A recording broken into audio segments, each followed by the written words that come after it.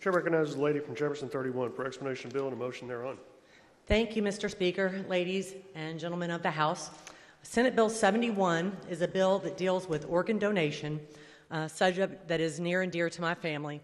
My husband and I have some amazing friends, Roy and Julie Ice, out of Louisville, Kentucky. Julie's a cystic fibrosis survivor and has already had a successful double lung transplant back in 2011, which has transformed and saved her life. Julie's among the strongest women I have ever known. Now she is on the waiting list for a kidney transplant, and we pray a kidney will become available very soon. There is far too many Kentuckians and Americans who wait for life saving organs. Senate Bill 71 updates Kentucky's Anatomical Gift Act to more closely mirror the national model. It expands who can make the life saving decision to donate organs and tissues for someone who didn't have the opportunity to do so before their illness or injury incapacitated them.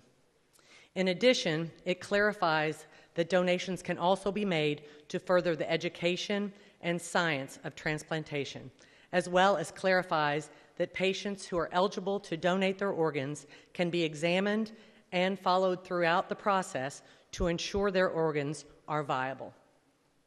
My family and I have all signed up to be organ donors, and I hope everyone in the chamber will consider doing so. Organ donation saves lives and is truly one of the most selfless decisions anyone can make. This bill passed unanimously in the Senate and in the Health Health Services Committee. And I now yield to the lady from Madison 81 for a friendly amendment.